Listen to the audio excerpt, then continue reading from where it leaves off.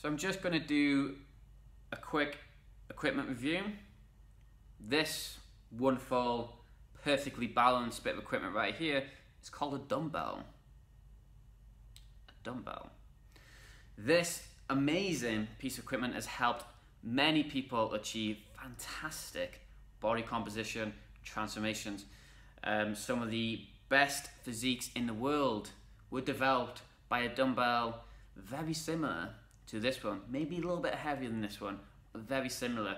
And you know, science is constantly advancing, and we're always finding new ways of using this incredible piece of equipment. Now, the problem being is not everyone uses this. I know, right? Not everyone uses this. Some people uh, just like to use cardio bits of equipment like our row machine there, and um, as well as that's cool, it's good, it's needed, a bit of cardio.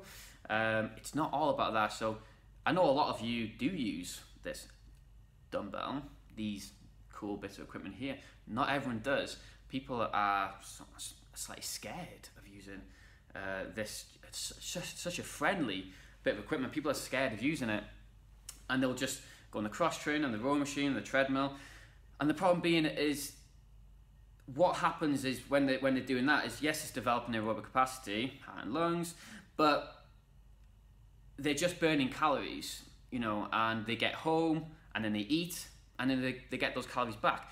When you lift weights, you develop muscle. When you develop muscle, you increase your metabolism. The reason being is your, your metabolic rate is obviously going to have to increase because it now needs to fuel that newfound muscle. So, dumbbells or even barbell, like you've got there, are key to developing a fantastic, sustainable physique. The more muscle tissue you have, the more likely you are to maintain that incredible physique you've worked so hard to achieve. So, don't be afraid of this friendly bit of equipment right here. Use it. If you're unsure of how to use it, then seek advice from a professional or you can um, well you can just pop to your local gym speak to the fitness instructors there. Uh, I'm, I'm sure they'll be able to show you how to correctly use this wonderful piece of equipment